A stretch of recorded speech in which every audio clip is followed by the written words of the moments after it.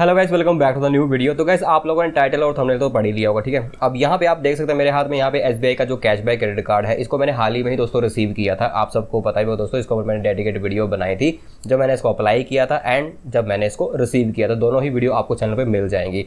तो अब यहाँ पर दोस्तों, जो क्रेडिट कार्ड है, इसकी मुझे लिमिट मिली है ओनली ट्वेंटी थाउज़ेंड एंड ये ट्वेंटी थाउज़ेंड भी जो मुझे लिमिट दी गई है एसबीआई कार्ड के अंदर, जो मेरा एस का सिंपली सेव क्रेडिट कार्ड था, जो कि मैं पहले से अभी भी यूज़ कर रहा हूँ, उसकी जो लिमिट थी पहले थी फिफ्टी थाउज़ेंड दोस्तों। उसमें से इन्होंने एसबीआई ने क्या किया, बीस हज़ार की लिमिट को निकाल कर एस के इस कैशबैक क्रेडिट कार्ड के अंदर डालकर मुझे दे दी यहाँ पे। अब दोस्तों, चलो ठीक है, वहाँ तक कोई इशू नहीं है। अब यहाँ पर दोस्तों आपको पता है कि जब एस के इस कैशबैक क्रेडिट कार्ड को आप अप्लाई करते हो मतलब कि ये दोस्तों आपको जो किसी भी ऑफ़र के दौरान फ्री नहीं मिलता है। आपको इसका एनुअल एंड ज्वाइनिंग फ़ीस पे करना ही पड़ता है। अब यहाँ पे दोस्तों इसका जो मेरा ज्वाइनिंग फ़ीस है, वो है ट्रिपल नाइन प्लस जीएसटी कुल मिला के बात की जाए तो यहाँ पे ग्यारह सौ अस्सी रुपये के आसपास जो है इसका अमाउंट बन के आपको भरना पड़ता है। अब यहाँ पे दोस्तों मैंने इस कार्ड को अभी तक यूज़ भी नहीं किया है। एंड बीस हज़ार लिमिट है इस कार्ड की और ग्यारह सौ नवासी रुपये का इसका जो पहला बिल है, वो मुझे यहाँ पर भेज दिया गया है एसबीआई की तरफ़ से। यानी कि जो पहली स्टेटमेंट है, वो जनरेट हो चुकी है एंड पहली ही स्टेटमेंट के अंदर ज्वाइनिंग फ़ीस लगा के एसबीआई ने मुझे भेज दी है। अब यहाँ से देखने में ये लगता है कि दोस्तों देखो, बीस हज़ार लिमिट है इस कार्ड की और जो ये बीस हज़ार लिमिट है, वो भी मेरे कार्ड से निकाल कर मुझे दी गई है। अब यहाँ पे दोस्तों ग्यारह सौ अस्सी रुपये हम जो इसके यहाँ पे भरेंगे दोस्तों, ठीक है स्टेटमेंट के अंदर, क्या ये हमारे लिए वर्थफुल है या फिर नहीं है?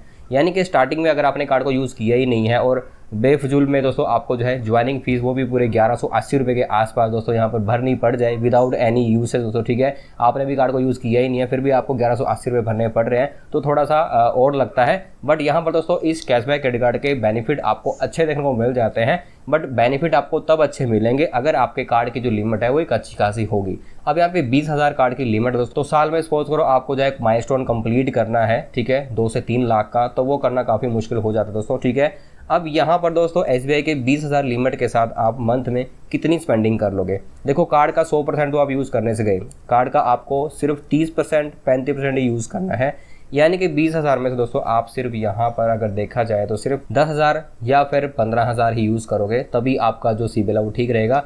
अगर आपने इस कार्ड की पूरी लिमिट को यूज़ किया, बीस हज़ार लिमिट है, आपने अठारह हज़ार यूज़ कर ली, यानी कि आपने दब के इस कार्ड को यूज़ किया और यहाँ पर दोस्तों आपके सीवर पर इफ़ेक्ट पड़ना शुरू हो जाएगा। क्योंकि आपको पता है कि अगर कार्ड का ज़्यादा आप यूज़ करोगे, अपनी लिमिट के आसपास आप यूज़ करते हो तो आपके क्रेडिट पे, आपके स्कोर पे थोड़ा फ़र्क तो पड़ता ही दोस्तों। अब यहाँ पे दोस्तों ये भी कहा जाता है कि अगर जितना ज़्यादा आप दब के कार्ड को यूज़ करोगे तो आपके कार्ड की जो लिमिट है, उसको इंक्रीज़ करने का, उसको एनहेंस करने का भी आपको ऑफ़र तभी मिलता है दोस्तों। अगर आप कार्ड को यूज़ ही नहीं करोगे, बहुत ही नामात्र यूज़ करोगे, तब भी आपको ये ड्रॉबैक मिलेगा कि आपकी कार्ड की लिमिट नहीं बढ़ेगी। अब यहाँ पे बीस लिमिट है अगर मैं इसको यूज़ नहीं करूँगा तो इसकी जो लिमिट है इतनी ही रहेगी। अगर मैं इसको यूज़ अच्छे से करूँगा तो मुझे लिमिट इसकी बढ़ने का ऑफ़र भी आ सकता है। बट आज तक दोस्तों मेरे पास एसबीआई के इतने पुराने क्रेडिट कार्ड हो चुके हैं। आज तक मुझे एसबीआई के कार्ड के अंदर कभी भी दोस्तों जो है लिमिट को इंक्रीज़ करने का ऑफ़र नहीं मिला है। जबकि मैं एसबीआई का सबसे पुराना कस्टमर दोस्तों, ठीक है?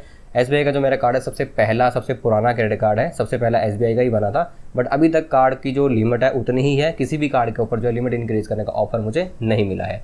अब दोस्तों, आप मुझे कमेंट में ज़रूर से बताना कि आपके पास एसबीआई का कैश बैक क्रेडिट कार्ड है या फिर नहीं है।